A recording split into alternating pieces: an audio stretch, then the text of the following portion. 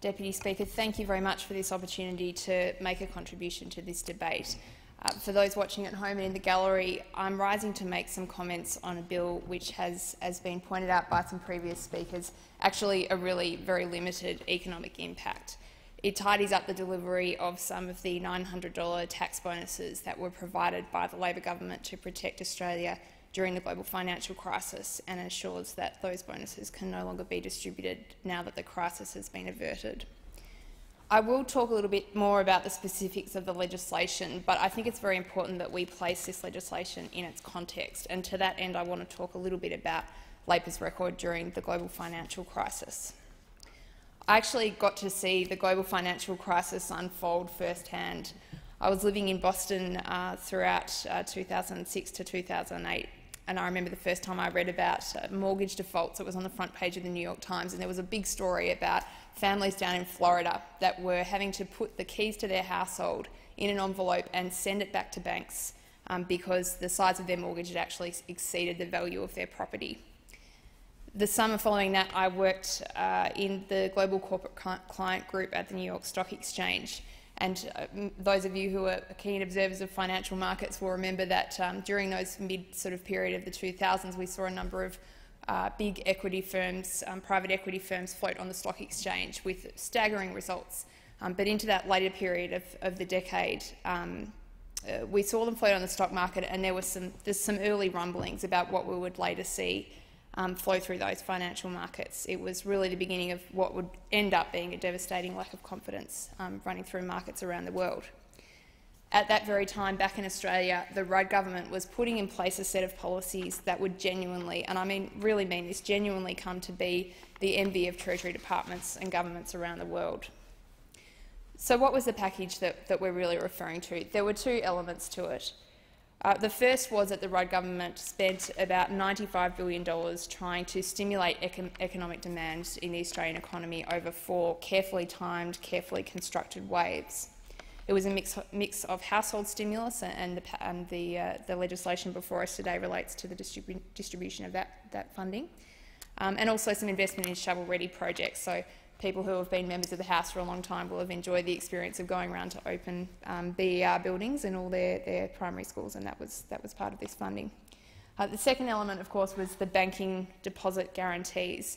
So the government stepped in to guarantee bank deposits up to a million dollars in financial institutions around the country. This was an enormously bold measure, Deputy Speaker. It allowed those financial institutions the confidence to continue to accessing funding. If that hadn't happened, lending could have collapsed, leading to all sorts of ramifications across the economy. Um, and as consumers, it made us confident uh, that we'd be able to continue to access our, our deposits in those banks. Now, in retrospect, when we describe those measures in the House today, they seem simple, uh, they seem obvious, but I think we need to put ourselves back in, in um, around that period of 2008 um, and remember that this was actually very controversial at the time. It encountered massive opposition from, from the Liberal Party. Um, watching it up close, I think it's just it's, it's, it's easy for us to forget how scary this period was. Uh, I think at one point in time, Goldman Sachs dropped 50 per cent of its market value in a single morning. Um, September 2008, we watched Lehman Brothers, a massive global bank, collapse. 28,000, uh, 26,000 employees. I think it's the largest US company ever to go into default. Um, and governments around the world balked at the face of this challenge. It was truly a scary time. Um, the papers were full of economists with wildly varying views about what should be done. Um, but the two measures that were put in place by the Rudd government um, were the primary elements of what was ultimately um, lauded as a brilliant strategy. Um, and we know, of course, that the member for Lilley was named World Finance Minister in 2011. I think what's particularly interesting about this is how unique Australia was in its, in its approach to this. Uh, it's, it's not as though all countries around the world were doing the same thing and Australia was following suit. We were actually the pioneers of this strategy. Uh, it's, these uh, probably sound like big claims, but you don't have to believe me on this. You don't even have to uh, believe our shadow treasurer or other Labor MPs. You can trust um, people who don't have a, a, a stake in this. Um, we've heard a little bit from Joseph Stiglitz, of course, this morning. Um, but you would find really no finer economist, um, and his comments about Australia's reaction to the global financial crisis are pretty well known. Um, Stiglitz, of course, is a, a, Nobel Prize winner in economics and a professor of economics at Columbia University. Uh, and I'll just go on to quote him here. He said, most countries would envy Australia's economy. During the global recession, Kevin Rudd's government implemented one of the strongest, strongest Keynesian stimulus packages in the world.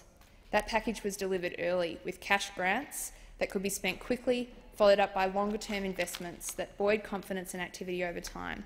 In many other countries, stimulus was too small and arrived too late, after jobs and confidence were already lost. Not so in Australia, Deputy Speaker. He goes on to say, in Australia, the stimulus helped avoid a recession and saved up to 200,000 jobs. And new research shows that stimulus may also actually have reduced government debt over time. Australia may have successfully dodged the global crisis, but some politicians seem to have missed the lessons it taught the rest of the world. And this election, referring to the, the election just previous, the Conservative side of politics has foreshadowed substantial cuts to the government budget. This would be a grave mistake, especially now. Labor actually did a fantastic job of saving your country, that's Australia, from problems. So there we have Deputy Speaker Joseph Stiglitz, one of the most famous economists in the world, um, talking with great enthusiasm about um, how the Rudd government responded to the global financial crisis. But we don't just hear it from, um, from Stiglitz. The IMF, of course, has also made, um, made some similar comments. So the IMF has actually singled Australia out as the developed nation furthest ahead of the pack, saying Australia and the new industrialised Asian economies are off to a strong start and will likely stay in the lead. Um, in the report, the IMF country report of August 2011, they referred to the ability of Australia to actually um, create a second budget stimulus package if there was another global economic collapse, um, and the, the room that we had to move on interest rates also. I'll just note on, on the side that that report also noted an endorsement of Labor's carbon price policy. So one not, uh, need not wonder what the IMF would report about the Coalition's direct action plan once the details uh, will be revealed five months after an election. We still know very little about this. The cynics amongst us might wonder whether the government does either. Time will tell on that one. Um, so we've heard from Stiglitz, we've heard from the IMF. Uh, we also um, heard some enthusiastic comments from John Howard um, about the, the response of the Labor government to the global financial crisis. And he said, and I quote again, when the Prime Minister and the Treasurer tell you that the Australia, this is the Treasurer at the time, the member for Lilley, tell you that the Australian economy is doing better than most, they are right. Our debt to, debt to GDP ratio, the amount of money we owe to the strength of our economy, is still a lot better than in most countries. I think it's actually worth pausing, Deputy Speaker, on this question of public debt because um, we do hear a lot of scaremongering across the chamber there about uh, the levels of public debt in Australia. So let's, let's avoid the, the rhetoric on this one and look at some of the facts. Um, so where did the last Labor government leave us in terms of debt levels? When Labor left office, our debt per capita in Australia was the third lowest of any developed country in the world. When you look at our debt to GDP ratio, in August 2013, we were the lowest of any developed country but bar Luxembourg. These scare campaigns really have no foundation in fact. Now, it doesn't mean that we shouldn't be vigilant, of course. Um, we're spending taxpayer funds here, and it's not, not that we don't need to be concerned about this. We can't take our eye off the ball. Um, but by global standards, Labor left uh, the budget of Australia in actually excellent shape. Um, for all we hear on the other side, it's worth thinking through what, uh, what we saw the coalition um, when, when they left office last time. Um, if you look at the ABS figures, which compare the full term of the Labor government with the full term of the last coalition government, we can see that average expenditure as a percent of GDP was 24.1 per cent under the coalition and 25.1 per cent for Labor, so just one percentage point higher under Labor the end of period net debt for each of those governments, so the net debt at the, at the basically at the when those government changed hands, as a percent of GDP was minus 3.8 per cent under the coalition and 11.7 per cent under Labor. So, for all we hear about concerns about fiscal uh, issues on the other side of the chamber, um, I think the facts actually show that Labor left the, the, budget in excellent shape, and especially when we look back at um, the condition the budget was left in by the last coalition government.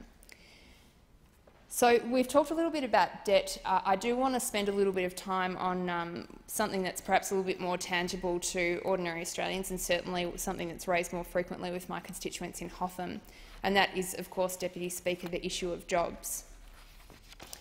We uh, talked a little bit about Joseph Stiglitz. Stiglitz. We talked about the IMF and we talked about John Howard and their comments. But another organisation that has recognised the excellence of Labor's package was the OECD, uh, noting that through the stimulus package, the Rudd government saved about 200,000 jobs. Um, it's, it's, just it's a matter of fact that across the period of the Rudd government of the sorry of the last Labor government, almost a million jobs were created, um, and Labor's un uh, the unemployment rate during that period was low, under 6%. Now, let's just think about that in, in a global context. When we look uh, to Europe in particular, we see some terrible, terrible unemployment rates. So during that same period, the unemployment rate in Spain was 25.8%, in France 10.8%, in Portugal 15.4%. Um, this is looking at the population as a whole. But, Deputy Speaker, when we look at young people, we see much more profound unemployment rates. Um, the unemployment rate in Spain was at 50 per cent, um, in Greece at 60 per cent. It's important to think through, especially when we look at this issue of youth unemployment, um, that these are not just uh, a moment in time issues what we know um, from lots of studies that have been done, particularly in the US and the UK, is that for people who um, graduate into the labour market during a recession, um, that those people, especially on the lower end of the education scale, on the lower end of skills, um, will probably never recover the incomes that they would have made had they graduated into a normal economy. So what we'll see in, in Europe, unfortunately, in some of these countries, is young people who will be forever disadvantaged just because of the timing in which they graduated into that labour market. Um, really, I mean, what chance do these young people have? It's really unfortunate. Um, but we didn't see this in Australia, and we should really reflect on that. We could have been in a situation where many more young people in our country left, uh, left their, their school life or left university um, with very few job prospects, and, and that's just not the case today. Um, I say it's not the case today, but I, I, think it is opportune to just think about what we've seen in the last five months. Um, we saw you know, companies around Australia maintaining, uh, maintaining their, their bottom line and um, continuing to employ people throughout a global financial crisis, but many of these companies, Deputy Speaker, could not survive the first five months of the Abbott government. So we know, of course, that in that first five months, 50,000 Australian jobs have already been lost. In that five months, we've heard announcements from Holden, 2,900 jobs to go, Toyota, 2,500 jobs to go. The collapse of our automotive industry in the medium term, 250,000 jobs to go. That's people employed directly in the car industry and in components manufacturers. 1,000 jobs to go at Qantas, 500 at Electrolux, 200 at Simplot, and 3,000 that are on the line at SPC Ardmona. This is a government that came into power trumpeting this great victory that we were going to have a million new jobs created. That's what was promised to the people who live in Hotham. Um, and we heard some pretty disturbing things raised uh, on this subject in the House yesterday. So I sat here in my seat looking at the Prime Minister and he got up and said, quote, sometimes jobs are lost. That was his reaction, Deputy Speaker. I just want to make a couple of points on this. It's true that government in general doesn't create jobs. Uh, most people in Australia are employed, employed in the private sector. But it's not good enough to say sometimes jobs are lost when so many of the incidents that have occurred in that last five months have been the direct consequence of government policy. And I'm referring there, of course, to the car industry. So we saw the Abbott government withdraw uh, $500 million worth of support. SPC, same, same situation, so a refusal to support SPC. Now those jobs are under threat. Uh, and of course, Rio, um, the incident in, in the Northern Territory. All these job losses directly relate to government decisions. So I understand if the other government wants to claim that they can't control everything, but these were directly related to, uh, to decisions that uh, to they or related governments made. They told the Australian people they would create a million jobs. Um, the people of Hotham didn't buy it. Neither do I. So I'll just conclude on a few points here, Deputy Speaker. I think the first is that Australia can be incredibly proud of its performance. It weathered a global financial crisis that buffeted economies around the world um, and did it in such a way that has been lauded by economists, um, by the International Monetary Fund and other organisations around the world. It was truly an extraordinary achievement.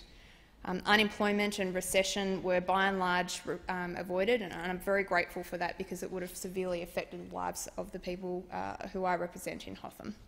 Um, legis this legislation today has given us a chance to celebrate that record. And so, on behalf of the people I represent, I'd like to associate myself with that success. Thank you. Order. The question is that this bill be